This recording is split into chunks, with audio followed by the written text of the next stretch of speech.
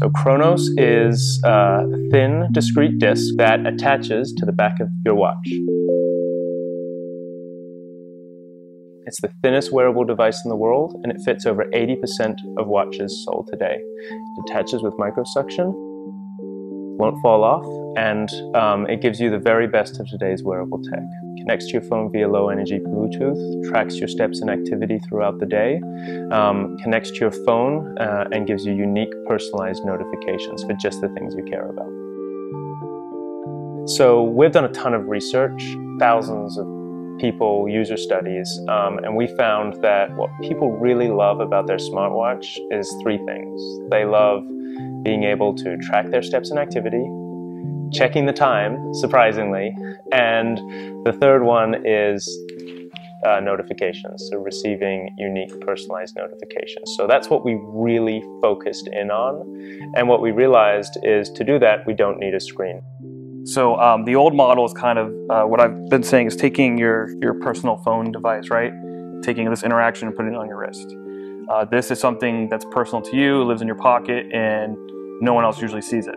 This is something that's quite opposite. I actually show this off. I wear it so people know something about who I am.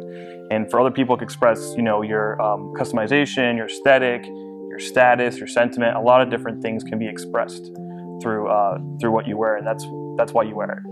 So there's some kind of disconnect here when you're taking a very personal communication model and putting on something that you're exploiting to the world. And you can imagine there's a lot of use cases where it doesn't work well. Now we want to say, help me be less distracted throughout the day, help me be engaged in real life, and that's what Chronos does. You know if you're getting a buzz on your wrist or a light up on your wrist and you're getting it on your phone, that's something pretty important and you need to check your phone. If you're not, you're only getting a buzz on your phone you feel it on your leg and not on your wrist, then you know, hey, this is something I can, you know, put in the back burner so I'm ready to do that.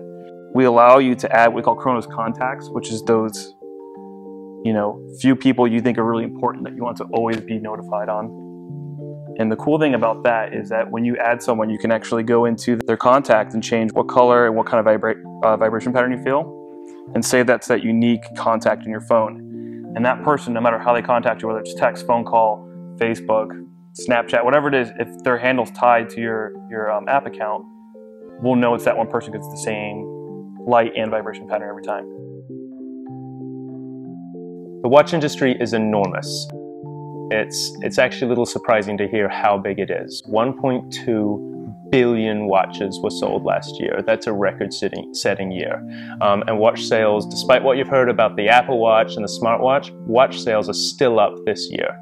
Um, the industry's grown between 5 and 10% every single year since 2000, and I don't think it's slowing down.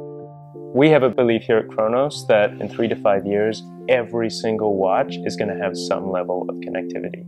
And if watch brands aren't thinking about that right now, they're going to miss out on that opportunity in the future. So we're talking to some of the very biggest brands out there about putting our technology inside of their watches. We can go and convert the billions and billions of watches that are sitting out there every single day um, with the Chronos disk, and then we can be in the future of, um, of watches too by being fully integrated. So that's our sort of go forward strategy, and they are very, very excited about what we're doing and the way we can bring our tech to their timepieces.